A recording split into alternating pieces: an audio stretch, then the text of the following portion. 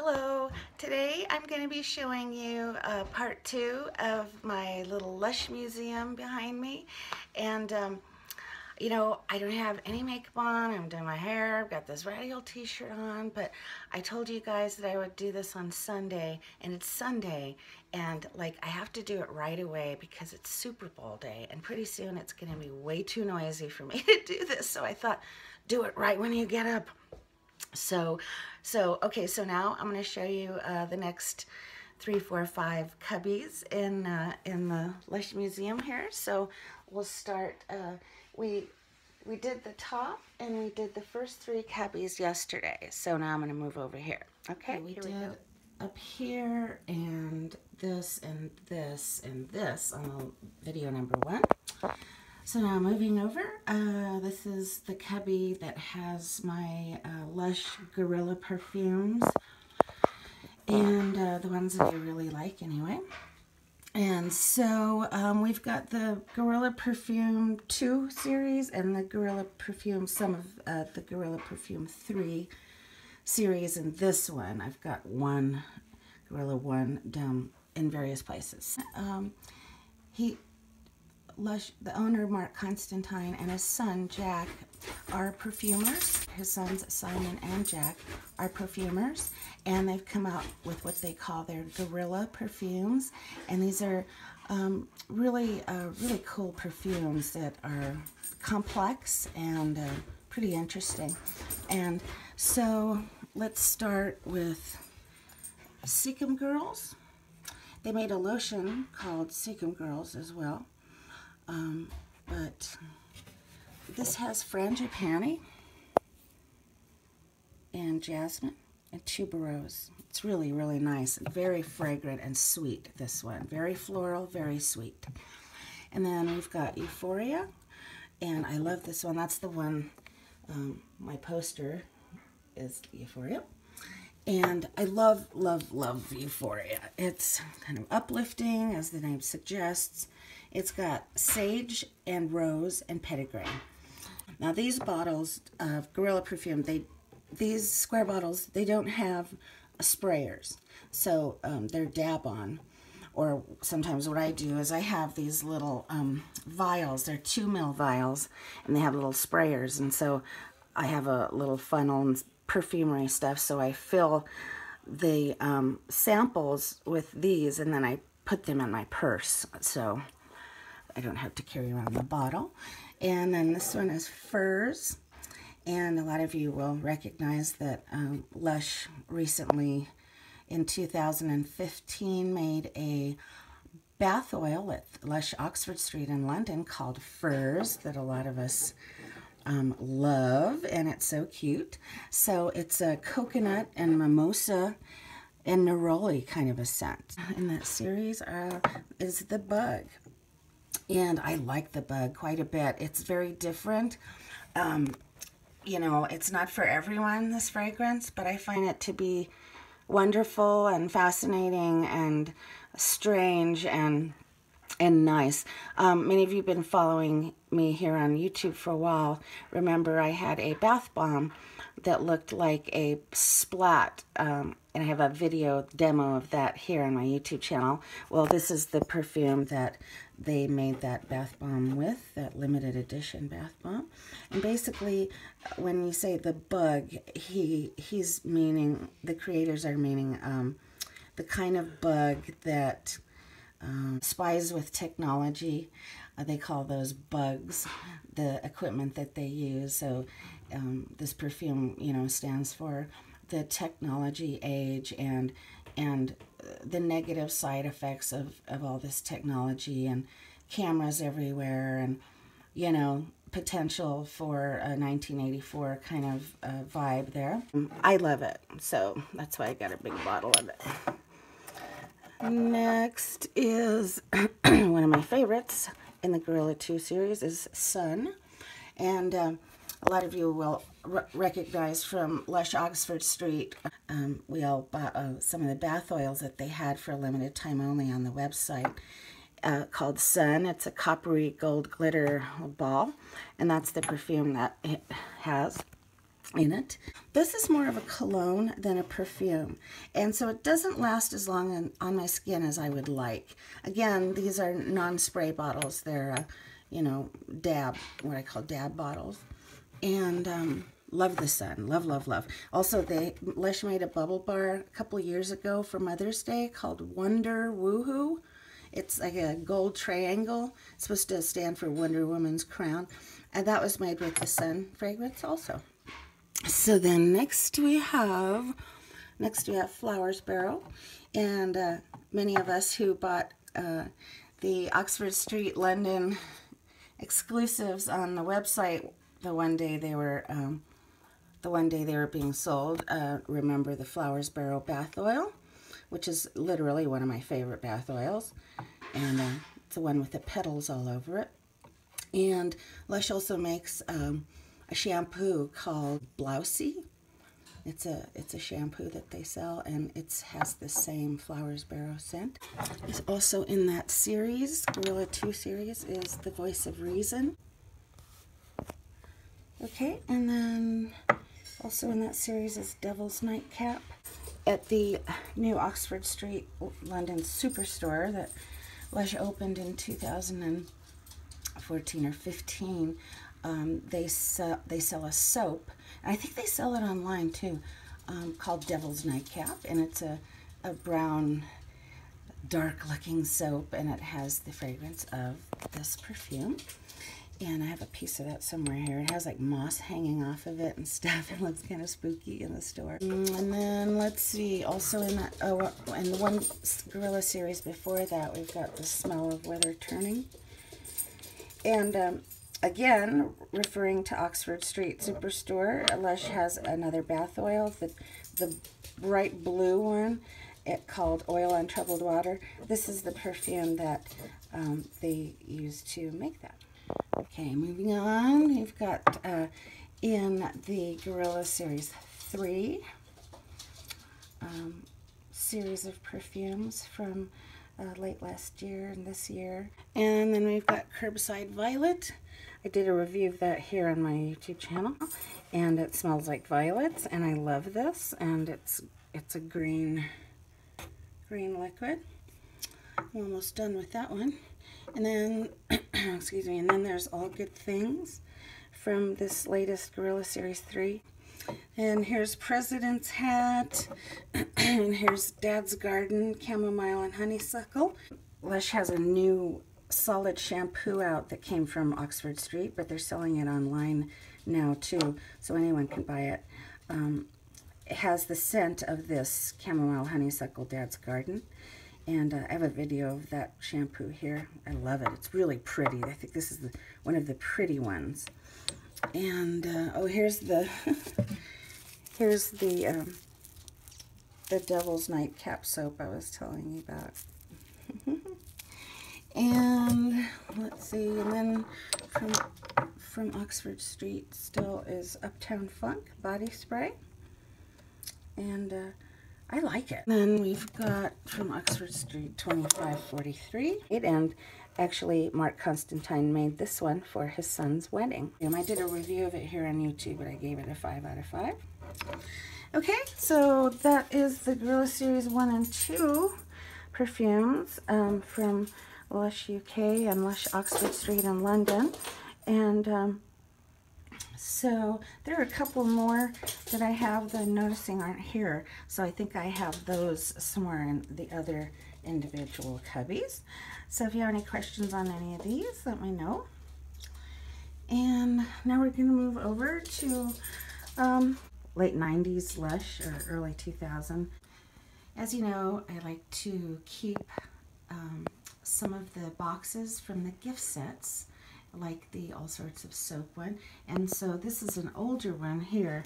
Um, I would say maybe this is from 2001 or something like that. And it's called Instant Karma. And it's uh, inside, this empty now. Inside was, I think, a, a Karma perfume and a dusting powder. And um, I just kept the box because you know, it kind of looks real retro and kind of cool. And then uh, the bath bomb next to it. It's scented with the Lush fragrance, which is for the most part the Karma fragrance, but this bath bomb is called the Lush Bomb. Initially, when Lush first started out, their uh, color scheme were green and yellow, and that's why it's a green and yellow bath bomb. And um, it has the scent of Karma, basically, um, although there was a separate perfume called Lush perfume and a separate one called Karma at one point. So it is a it has a tiny difference in it. I have the perfume, the Lush perfume here somewhere. Let me go find that.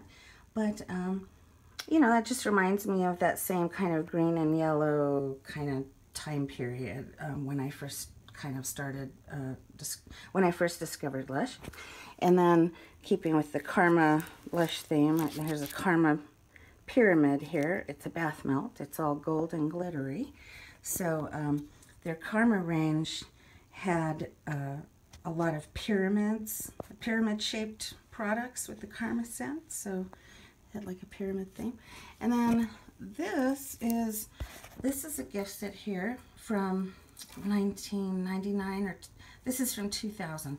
And um, it's called the Bubble Wall. I have another one behind it called the Soap Wall. And um, if you notice, that's kind of kind of like a, a microcosm of the, the way the shelves look. It's kind of that, you know, square square cubbies and stuff. And um, Lush used to sell these as a good way to, uh, as a good way for people to get samples of things.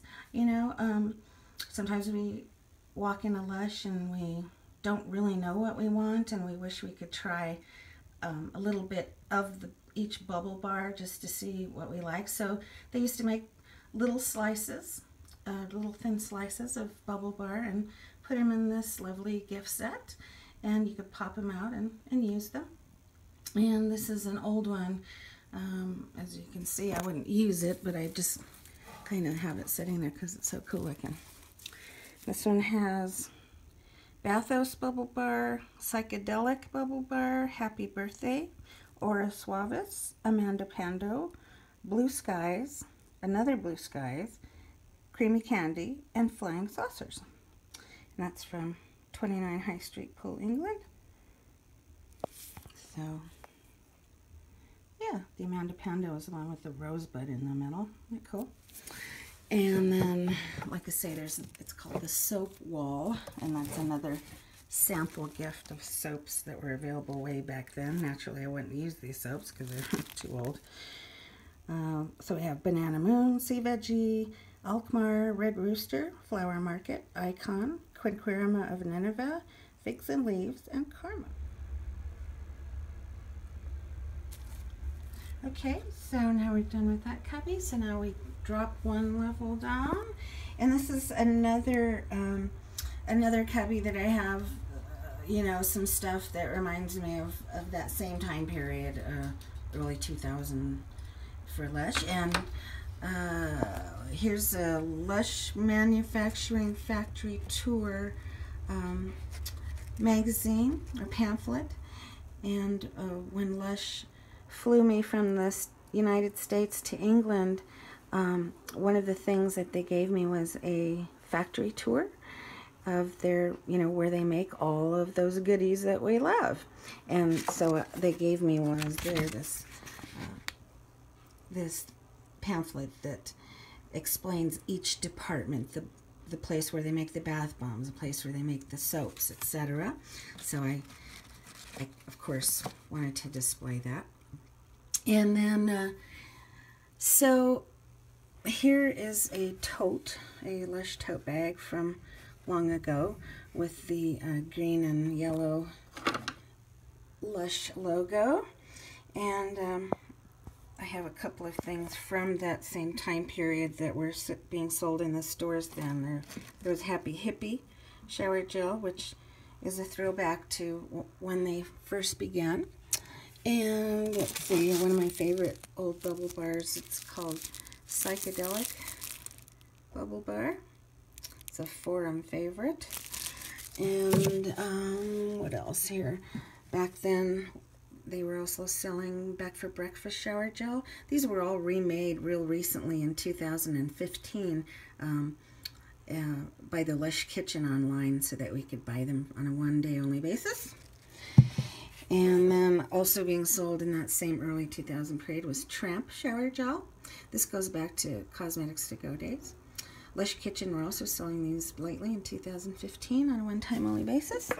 And it also being sold at the same time when I first discovered Lush was Happy for Sad. And uh, I have reviews of all of these shower gels here on my YouTube channel. And um, here was a, a Christmas gift. It's a Rudolph Christmas gift. Um, and he's got like a, a green angel-shaped bath bomb with the scent of Avobath. Um, so there's the tote. Oh, and then, yeah. Wait, and then I also have very early, early 2000 or 1999 is this thing called, it's called the Smelly Sock. There's the, oh, there it is. There's a label of Smelly Sock. Oil-based fragrances that need to be tested on the skin to be appreciated. In this gift set is the Lush perfume. That's the Lush perfume I was telling you about. V perfume, Floreat in Excelsis perfume, Magi Musk perfume, and Karma perfume. And they have a little little vials with some some hand hand painted gold leaf uh, little initials on them or whatnot. See if I can see if I can get one of these. And here's what they look like. So this one has a gold M because this one is Magic Musk. And and that's the uh, the Lush perfume I was telling you about. Um, that this was made made from. So, yeah. So you can see they have a Karma perfume and a Lush perfume. Alright, that's the Smelly Sock for Christmas 2001. And also here is a gift set, uh, the Love Spell gift.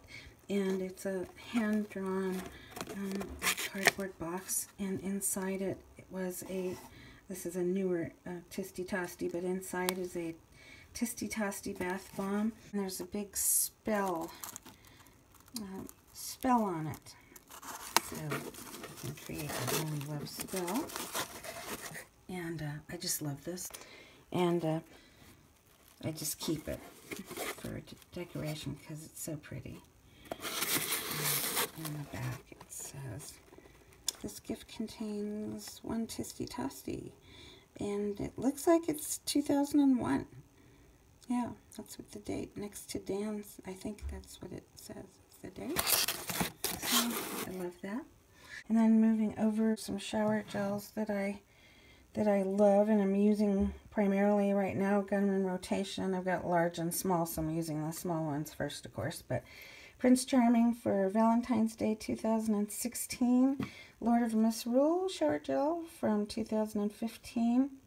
And Yummy Mummy Shower Gel from 2016 shower cream, excuse me. And uh, so, yeah, those are my favorites right now, and I'm using those uh, a lot. So I bought a couple of bottles of each. And then this cubby has a shirt called Party On. It's a t-shirt. Um, that's from like 2004 maybe. And um, it's this cubby has on the on the bottom of it is this lovely knot wrap with these pink and red and purple flowers. And um, and then there's a uh, there's an iron-on uh, Happy Days from Lush Oxford Street. And, um, and these are some soaps from Lush Oxford Street. This is Bertie soap. Both of these are called Bertie. B-E-R-T-I-E. -E. They look like all sorts of candies. And um, I think that's all we have in here. Here's, this is a, a bubble bar, um, it's called Mumpkin and Love, and it's from Lush Japan. It's a, a pumpkin. It's kind of like the the little mumpkin or the pumpkin bubble bar that I have in this Halloween cubby, except it's a pastel pink and purple color. and it has a lovely smell. And um, I'll show you that sometime. I'll, I'll do a review and a demo of this in my tub real soon for you and take some photos too. And so that's it for that that one. Uh, the next has more perfume, so that's going to take longer. So I'll save that for the next video. And thanks for watching. And if you have any questions or comments, feel free to leave them below. If you enjoyed this video, please give me a thumbs up and a like. Uh, press the subscribe button above. So um, that way you'll be notified of when I upload new videos, which I do a lot lately. Thanks for watching, and we'll talk to you on the next video.